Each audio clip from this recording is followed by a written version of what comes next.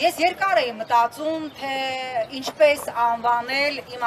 այսօրվա ակցիան։ Ես որպես քաղաքացի, որպես Հայաստանի Հանրապետության քաղաքացի, որպես քաղաքական գործիչ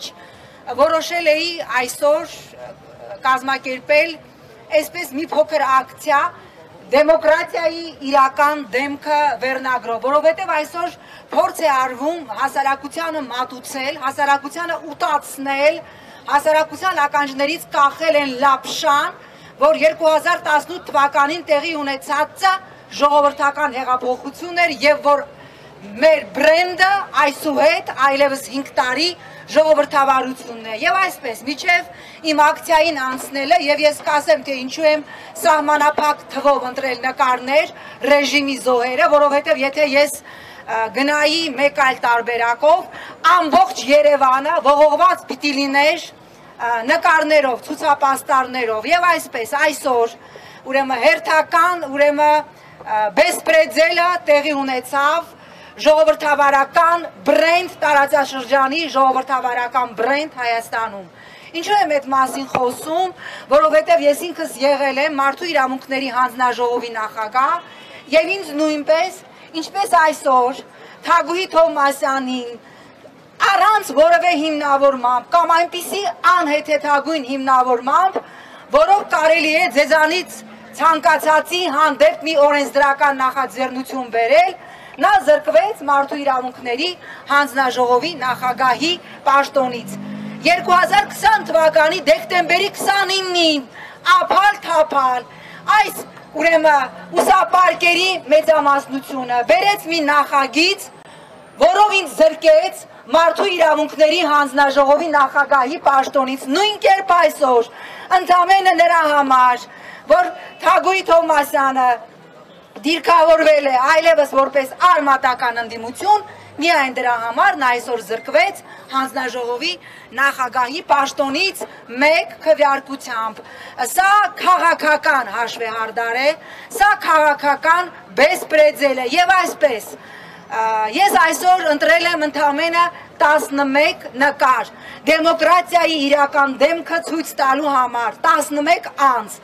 միջդեռ այստեղ ես մտածում էի դնել ի սկզբանե սկզբնական տարբերակով 3 նկար. Դնել դեմոկրատիայի իրական դեմքը եւ դնել 3 ցուցապաստար ամենամեծ ցուցապաստարում ես մտածում էի գրել մեկ անուն Հայաստանի Հանրապետության քաղաքացի, որպես այս fake դեմոկրատիայի եւ այս իրական բռնապետության թիվ 1 զոհը եւ ՀՀ քաղաքացու կողքերում դնել Արցախ եւ դնել Հայաստան ցուցապաստառները որպես այս բռնապետության զոհեր։ Երկրորդ տարբերակը պիտի լիներ, որ ամբողջ Երևանը, ամբողջ հյուսիսային պողոտան պիտի ողողված լիներ հազարավոր նկարներով այնտեղ պիտի լինեին բոլոր են համայնքապետերը, բոլոր են քաղաքական գործիչները, չգիտեմ, Գառնիկ Իսագուլյան, Ավետիք Չալաբյան, Նարեկ Մանթաշյան, ես չգիտեմ, Գերասին Վարդանյան, բոլորը, բոլորը, որոնք ուրեմն այս ռեժիմի բռնապետության զոհերն էին, բայց այդ դեպքում ես չգիտեմ, կթույլատրեին ամբողջ Երևանը ողողել նկարներով։ Այստեղ պիտի լինեին առնվազն գոնե հաստատապես հոկտեմբերի 19-ից հետո, երբ որ Նիկոլ Փաշինյանը չհամաձայնեց ուրեմն մի քանի առաջարկներին, այդ թվում Ռուսաստանի նախագահի առաջարկին կանգնեցնելու պատերազմը, առնվազն, եթե միջև հոկտեմբերի 19-ը 44 օրյա պատերազմում մեր տված զոհերի ուրեմն հանգամանքները, մահվան հանգամանքները պիտի քննի վստահ եմ նոր իշխանության, նոր արդարադատությունը, որովհետև հայկական Նյուրենբերգ անպայմանորեն լինելու է, ապա հոկտեմբերի 19-ից հետո մեր յուրաքանչյուր զոհված տղայի